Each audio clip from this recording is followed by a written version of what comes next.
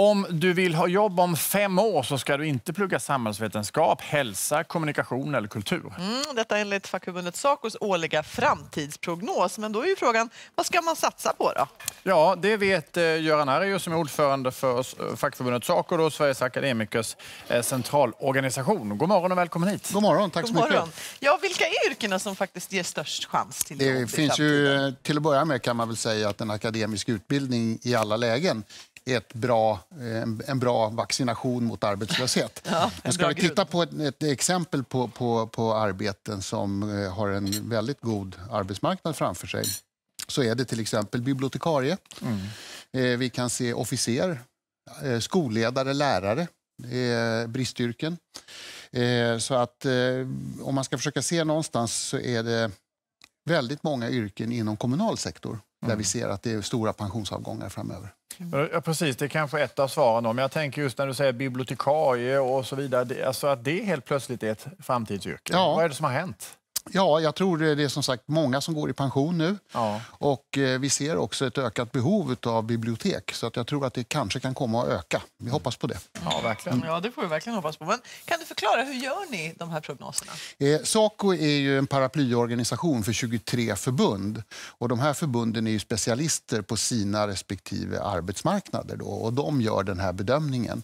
Så till exempel arbetsterapeuterna som då är ett, eh, ett område som kommer att vara en god arbetsmarknad. Då har de sett att ja, så här tror vi att det kommer att vara behov av arbetsterapeuter och så här ser vi att antalet utbildade är. Och så gör man en bedömning av det här. Då. Sen finns det ju då eh, jobb då, som, som ni bedömer det är inte så lika ljusa framtidsutsikter. Då. Det gäller bland annat då samhällsvetare och beteendevetare. Ja. Vad, drar ni för slutsatser av det? eh, Där? Ja, det är ju naturligtvis och det är fler som önskar läsa det här än vad det riktigt blir arbetstillfällen. Och jag tror att givetvis så ska man ju läsa det man tycker är intressant. Man måste arbeta både med hjärtat och med hjärnan när man gör ett sånt här val. Eh, Jag tror att man ska vara beredd på kanske att få arbeta lite perifert i det, i det yrkesområdet. Eller också ska man skaffa sig en bredd och ha ytterligare en utbildning kanske i så fall. Okej. Eller i alla fall någon del av en utbildning. Att man kompletterar sin utbildning Ja. lite med något annat då? Liksom, Jag tror att framtiden ändå kan ligga i att inte bara vara specialiserad, för det behöver man vara, men också lägga på lite bredd i sina kunskaper. Kanske i något helt annat område. För jag tänker man kan ju kanske bli ganska eh, nedslagen när man tittar på listan här och så är man jätteintresserad av hälsa till exempel och vet att man hemskt gärna skulle vilja ägna sitt yrkesliv åt hälsa. Hur ska man tänka då? Ja, då får man ju fundera på vilka olika yrken inom hälsa finns det. För jag menar, det finns ju också jobb inom hälsoområdet som, där det kommer att vara en god arbetsmarknad. Vi kan ju se på läkare till exempel, har ju en väldigt låg arbetslöshet. Eh, men man får väl kanske fundera lite. Vill man verkligen göra det här så tycker jag man ska göra det. Men man ska veta vad det innebär. Det är, det, det är därför vi gör det här. Vi tycker man ska välja det man vill göra.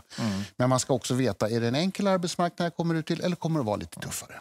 Hur högt i kurs står vi då, jag och Soraya, journalister? Ja, det är ju ett område där det under lång tid har utbildats väldigt många och där man vet att det är ganska svårt att få eh, jobb idag.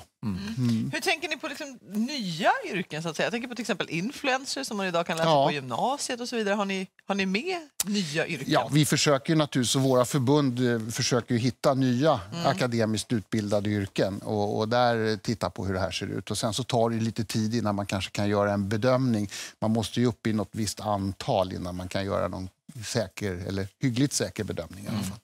Jag tänker också om man har följt den politiska debatten eh, senaste halvåret, så, eller än, ännu längre tillbaka, så har det handlat mycket om, du själv är inne på så här kommunala landsting. Alltså det, det pratas mycket om satsningar i vården, eh, skolan och polisen och så vidare. Då. Och där kan man också, om jag tolkar det rätt, då se att där är framtidsutsikterna lite ljusare nu. Då, alltså. Absolut, det kommer det att vara. Det, och in, inom det kommunala och landstingskommunala området kommer det vara väldigt stora avgångar här framöver. Så där kommer det säkerligen att finnas många arbeten.